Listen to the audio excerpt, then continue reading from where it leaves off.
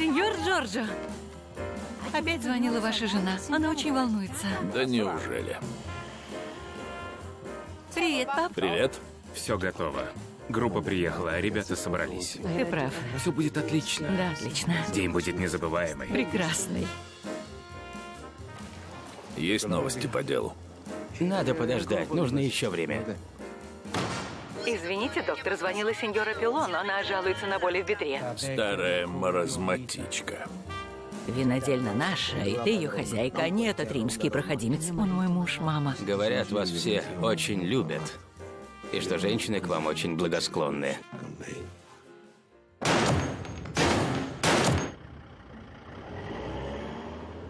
Так что же нам делать?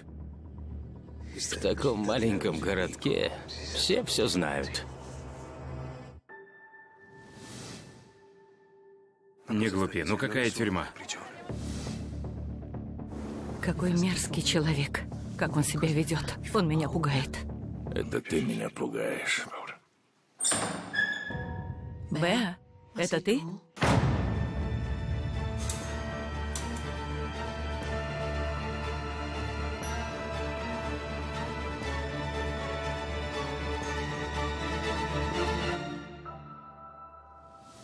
Есть вещи, о которых лучше молчать. Всю жизнь.